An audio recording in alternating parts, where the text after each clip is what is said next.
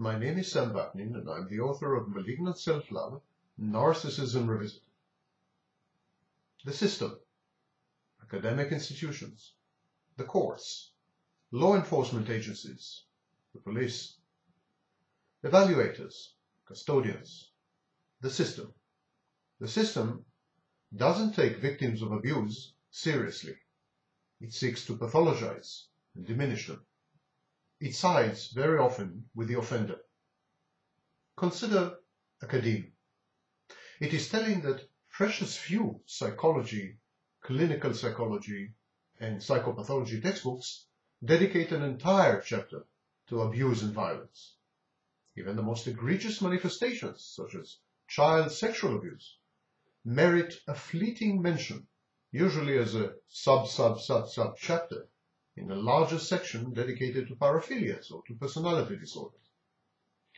Abusive behavior did not make it into the diagnostic criteria of mental health disorders, nor were its psychodynamic, cultural, and social roots explored in depth for a very long time.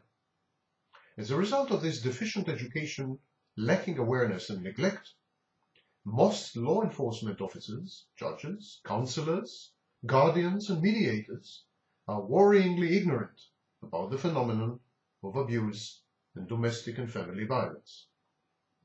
Only 4% of hospital emergency room admissions of women in the United States are attributed by staff to domestic violence. The true figure, according to the FBI, is more like 50%. One in three murdered women was done in by her spouse, current or former. The United States Department of Justice pegs the number of spouses, mostly women, threatened with a deadly weapon at almost 2 million annually.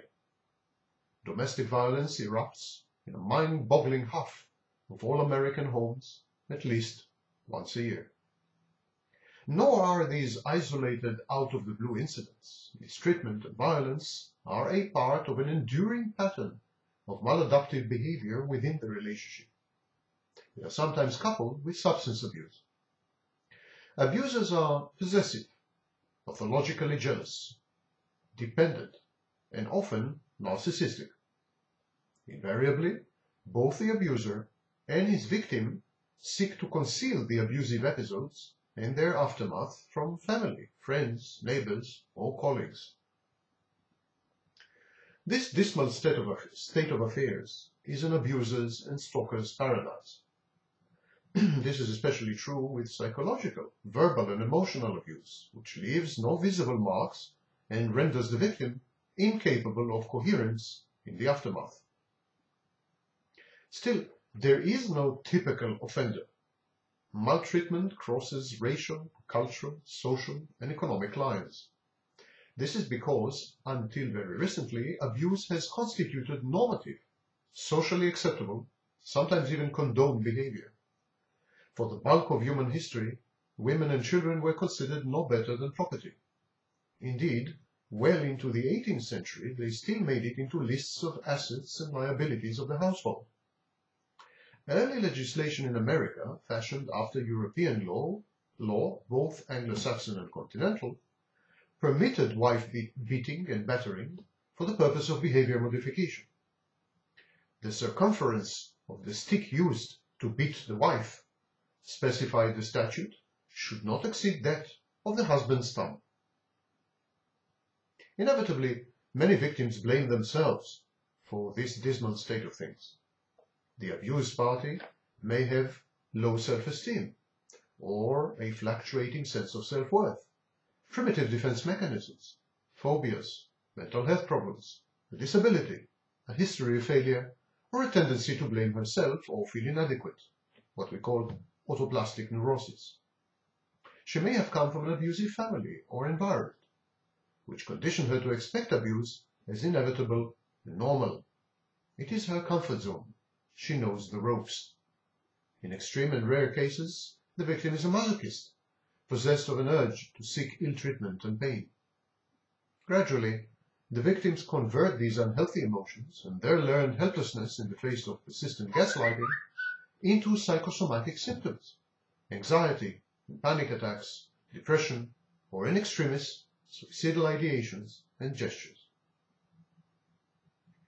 Therapists, marriage counselors, mediators, court-appointed guardians, police officers and judges are all human.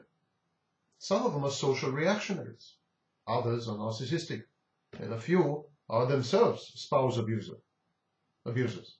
Many things work against the victim facing the justice system and the psychological profession. Start with denial. Abuse is such a horrid phenomenon that society and its delegates often choose to ignore it or to convert it into a more benign manifestation.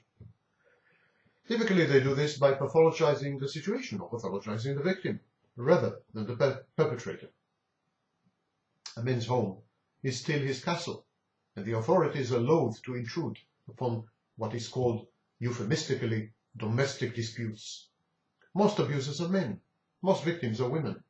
Even the most advanced communities in the world are still largely patriarchal.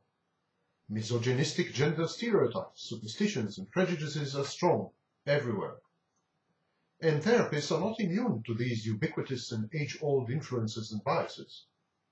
They are amenable to considerable to the considerable charm, the persuasiveness, the suaveness and manipulativeness of the abuser and his impressive thespian acting skills. The abuser offers a plausible rendition of the events and interprets them in his favor. The therapist rarely has a chance to witness an abusive exchange firsthand and at close quarters. In contrast, the abused are often on the verge of a nervous breakdown, harassed, unkempt, irritable, impatient, abrasive, and hysterical. Confronted with this contrast between a polished, self-controlled, and suave abuser and his harried casualties, it is easy to reach a conclusion that the real victim is the abuser, or that both parties abuse each other equally.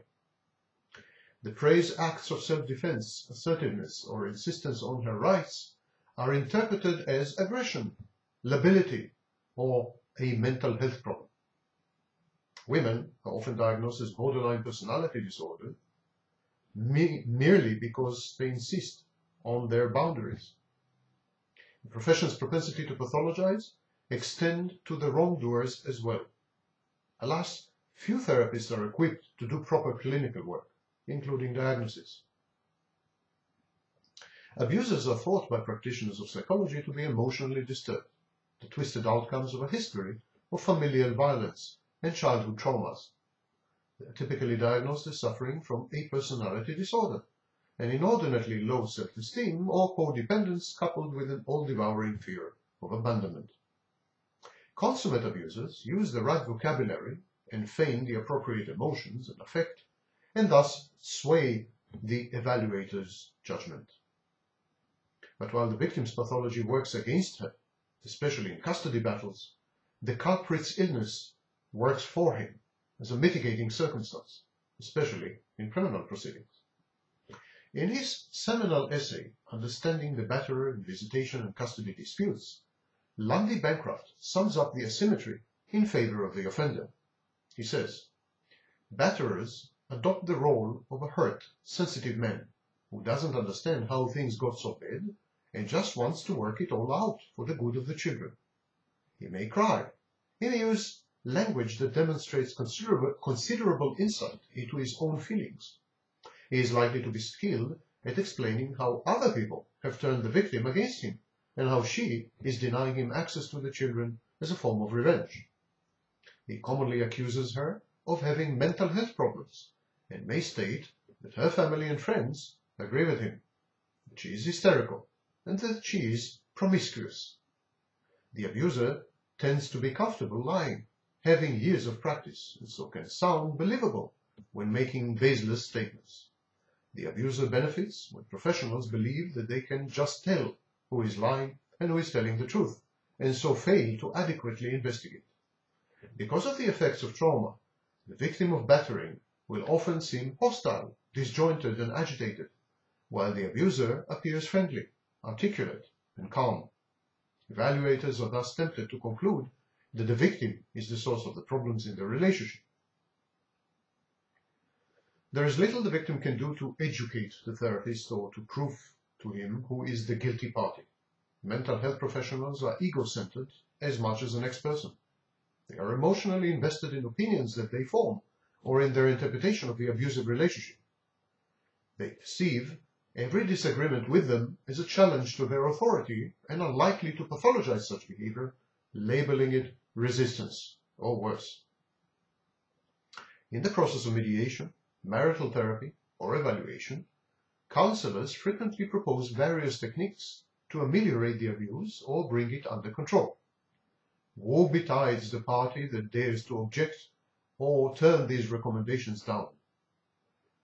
Thus, an abuse victim who declines to have any further contact with her abuser and batterer is bound to be chastised by her therapist for obstinately refusing to constructively communicate with her violent spouse. Better to play ball and adopt the slick mannerisms of your own abuser. Sadly, sometimes the only way to convince your therapist that it is not all in your head and that you are a victim is by being insincere and by staging a well-calibrated performance replete with the correct vocabulary.